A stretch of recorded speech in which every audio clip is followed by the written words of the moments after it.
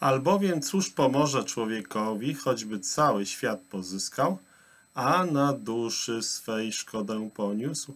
Albo co da człowiek w zamian za duszę swoją? Ewangelia Mateusza 16:26 Kąsienica, aby udekorować ogródek dzieci wbiły w ziemię jeden obok drugiego kilka jaskrawo pomalowanych drewnianych patyków. Pewnego dnia zauważyć można było gąsienicę powoli wspinającą się na jeden z patyków. I jeden z obserwatorów dalej tak opowiada o tym zdarzeniu. Obserwowałem ją z zainteresowaniem. Gdy wreszcie dotarła do szczytu kija, wyprostowała się i zbadała go ze wszystkich stron, by sprawdzić, czy nie znajdzie na nim jakiegoś soczystego listka. Jak można się domyśleć, domyślać, oczywiście była rozczarowana. Powoli pokonała więc drogę powrotną w dół i dalej czołgała się po ziemi.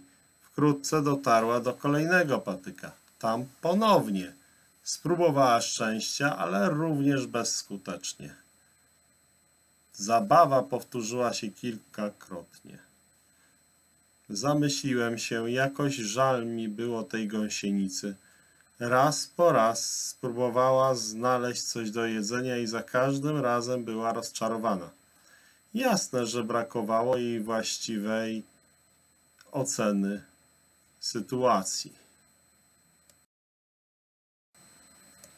Ciekawe, czy w swoich wyborach nie kierowała się po prostu jaskrawymi kolorami martwych skądinąd patyków.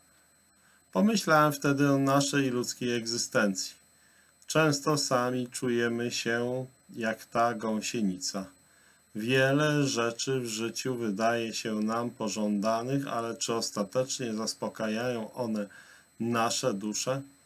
Nie jeden człowiek dociera na szczyt i musi z rozczarowaniem uświadomić sobie, że jego dusza i tak pozostaje głodna. Jeśli chcemy wiedzieć, gdzie warto się wspinać, musimy sięgnąć po Słowo Boże, Biblię. Tam otrzymujemy właściwą ocenę sytuacji.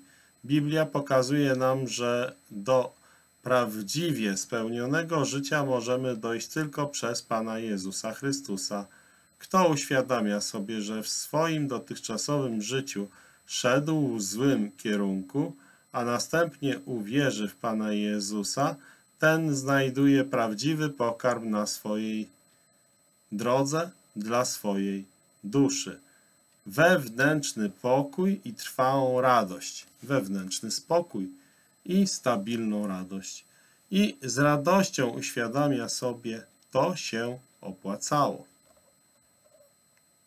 Albowiem cóż pomoże człowiekowi, choćby cały świat pozyskał, a na duszy swej szkodę poniósł, albo co da człowiek w zamian za duszę swoją.